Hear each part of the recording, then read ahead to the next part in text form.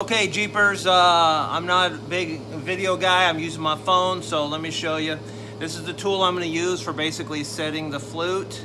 If you look at the end of it, it's rounded, and then the very edges of it I've rounded too, so I don't ding up the metal, okay? So I'm going to use this to uh, start setting my flute, okay?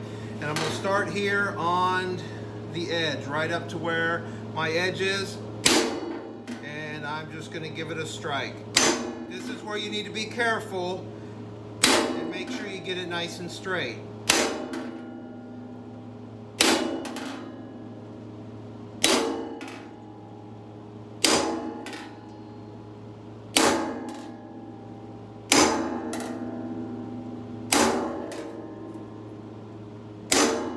Okay, so once I've set the initial groove in here, the initial flute, I'm gonna look at it and make sure it is straight. And I'm gonna, if I need to make some little adjustments in here, I'm gonna do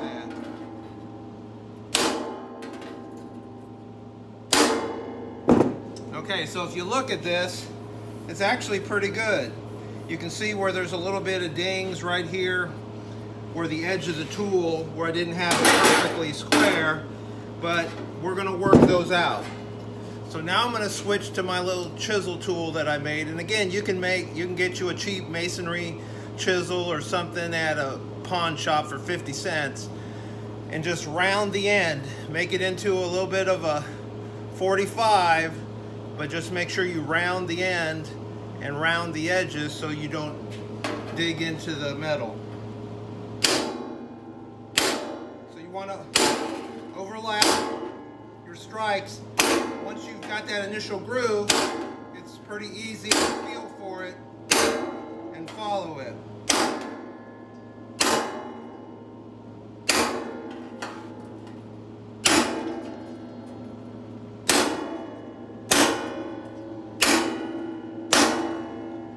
Try to overlap each row so that uh, you don't leave any significant divots in one location.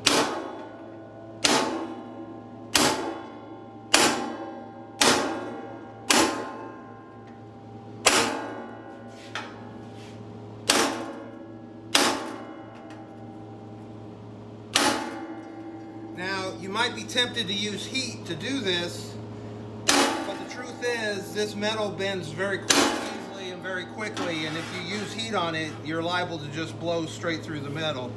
And then you have to recut your piece and start over or do a bunch of welding. And that just sucks.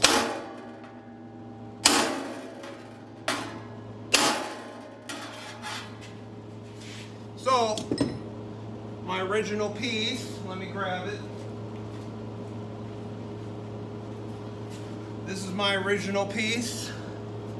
You can see the flute is a little bit of a 45 degree in there. Someone drilled a hole in there. But if you compare it, we're pretty close. It's about this, I might need to go a little bit deeper.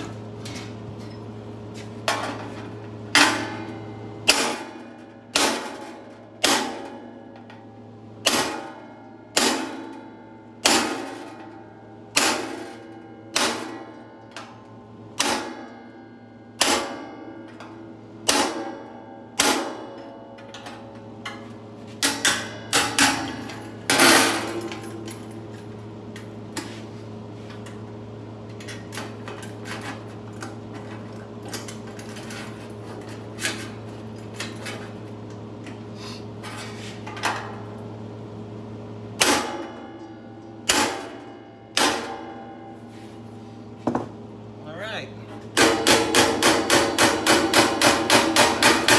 Now I'm just going to finish the edge bit.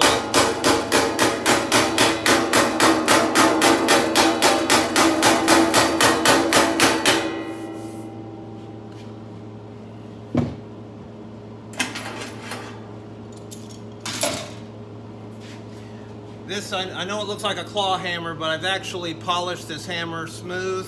I use it, I like the weight of it. I use it as a uh, sheet metal tool.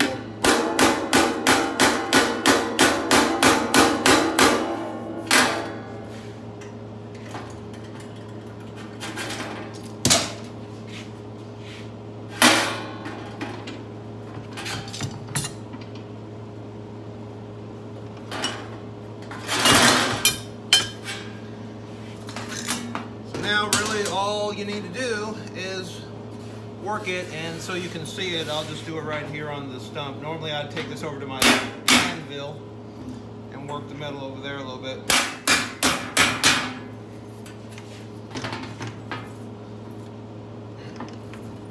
This is so thin it's easy to work.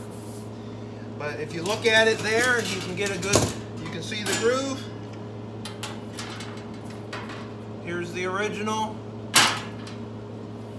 once I sand this, what you want to do is you want to sand, um, you want to sand, uh, don't, I, uh, this is what I have in my hand, but basically you're going to sand this way. And what you really want to use is one of those uh, flexible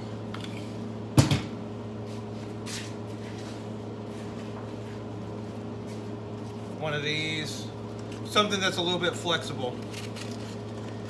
I'll show you real quick so that you can clean up these these tiny imperfections. It depends how much of a perfectionist you want to be on this. I mean, honestly, that's probably good right there. But um, if I was going to make this a museum piece or something, yeah, I'd polish it. I'm going to clean it up a little bit. I'm going to show you how I do that. Really easy. It happens real quick. Sorry for the noise. My wife's making me use these protective things now that I've cut my leg, so they're hard to work with to me.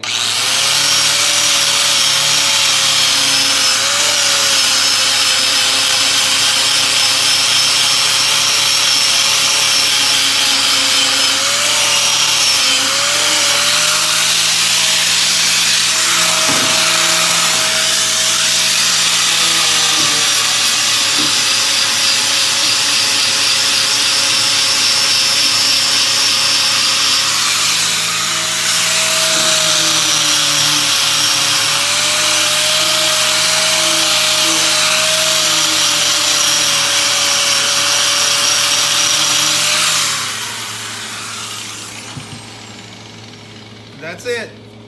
Nice and smooth. All right, guys, that's how I make flutes and metal. You can do the same thing with thicker metals. All right, Jeep out.